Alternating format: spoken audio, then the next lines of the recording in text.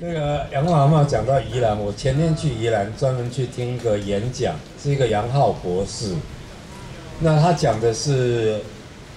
呃，一种自然的方法去种植物，啊，那个把水管密布在地里面，让根能够充分吸到水。那根强壮的话，它的那个叶茎就会强壮。那他用一种自然的方法，他自己跑到离山、没有水、没有电的地方生活了好几年，开始实验。那二十年了，他做成功了。当然还有一些暖房的环境啊。那他发现那个营养如果充足，植物就会健康。他第一次种出来的高丽菜很丑，一颗小小的很丑，可是煮出来非常甜，从来没有发现蔬菜是那么好吃，吃到自己眼泪都掉下来，都感动。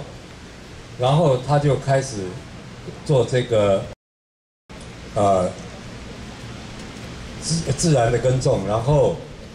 发现植物你吃掉，包括人吃了健康的食物。你连健保都用的很少，啊，因为他二十年的实验，给很多农场，他申请了两两样专利，但是他没有在靠专利专利在赚钱，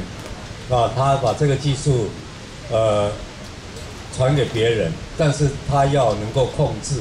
免得你在中间出了错，你的那个呃土地或什么就污染了，他要控制住，然后能够种出很好吃的蔬菜。又健康，然后人连人吃了都健康，啊，那个听了就非常诱惑人，啊，所以我很想再去请教他，因为我自己家里自己也种菜，啊，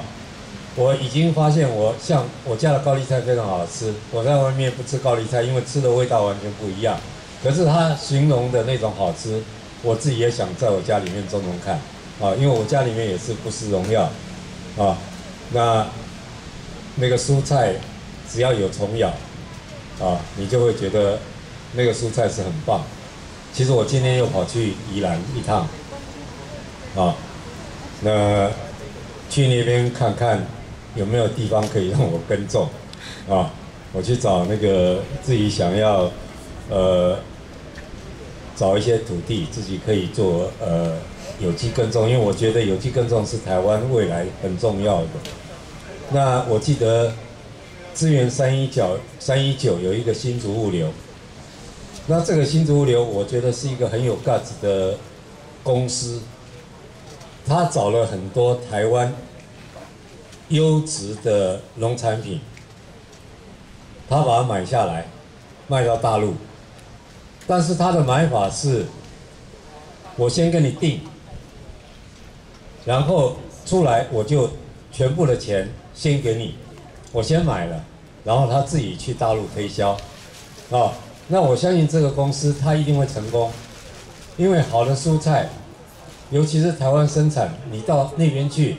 蔬果可以卖十倍以上的价钱，啊，那有这样的厂商，农民也很安心，因为，呃，不管中间运输的损失什么的，他已经先交了钱给我，让农民先赚。哦，这个新竹客运，我发现它是一新竹货运是一个很厉害的公司。那有这样好的公司，其实是一个台湾农民的福利啊。那我们我们接下来，其实我也希望能够呃，让我们台湾的农民，因为你看到这个污染那么严重，怎么样让我们土地变成无毒，然后能够发展出。那个它叫天域农法，啊，那个那个耕种的方法，能够耕种出正健最健康最好吃的农产品，连人吃了都会健康。如果有那样子的东西，我相信台湾每一个人都想买，而且你整个普遍发展，这个东西不会更贵，啊，它只会更便宜。那希望，呃，我们连我们自己要做网站，我们也希望帮人家推广这个东西。啊，虽然看起来是一个理念，但是我希望能够实现，让台湾的农地复活，而农民也不是靠补助金在过生活，因为补助金也不过是一万多块，他要去做工，还不如把自己的田照顾好，有好的农产品，他可以赚更多的钱，更能够生活。那我希望这是一个来良性的，因为科技产业在我们这里已经显见它没落了。它会掉下来，它说不定会再起来，但是还是会掉下去。可是农产品不会，它是台湾最重要的生命的来源啊！这个呃，今天就是因为我觉得看到那个看到阳光阿妈这么努力的在发展这些呃自然能源，我觉得真的是很棒啊！跟大家分享，谢谢大家。呃，大家好。本来在我的行程里面，今天我人已经不在台湾了。我去年这个时候也飞到美国去找我弟弟，因为我弟弟在美国一个南方很小的镇上，非常寂寞。我答应他说，每一年到圣诞节之前，我跟我姐姐几个人飞到美国南方去陪他过圣诞。所以我本来在计划中是今天上午五点钟就出发到美国去，大概一个月。所以我那时候想说，这个五不要合适五六运动，大概最寒冷的那个。冬天我就没办法陪大家过了。后来家里有一些事情，我自己盘算了一下，我想我就我就不跟我不不不跟我家人去美国了。所以今天可以来到这边，看到还有那么多人，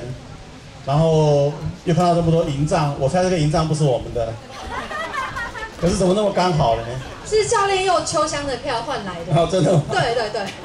所以很高兴今天还是能够陪大家在 寒风细雨中度过。二零二零一三年就要过去了，其实我们到二零一四年会发生很多事情，包括说我自己有看到很多正在进行的一些电影啊，正在准备拍摄的电影里面有讲到台湾土地的问题，东海岸这个美丽湾的问题，有几部电影已经拍好了，所以明年二零一四年在电影方面或者电视方面有很多会跟台湾公民运动的议题有关的东西，很多人问我们说。你们一直在这边，每个礼拜都不走，有什么影响力呢？其实大家可以看到，我们一直在逼政府，让他知道说有一群人一直在抗争很多事情，这个影响力很难很难说结果如何。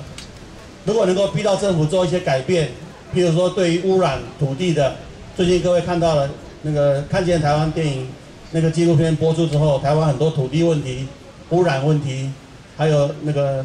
山山林滥垦问题一个个出来，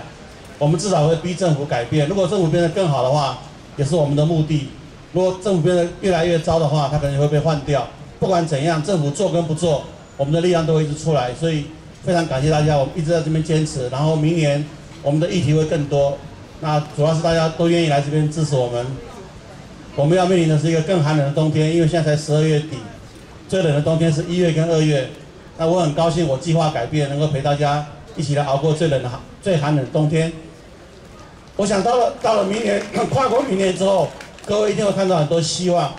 就像我刚才讲说，不管从文文学也好、电影也好、电视也好，或者社会运动也也好，我可以预计二零一四是一个很丰收的一年。因为二零一三我们将熬过来，大家不要认为说没有用，其实已经看到整个社会一直在蠢蠢欲动。所以谢谢大家，谢谢。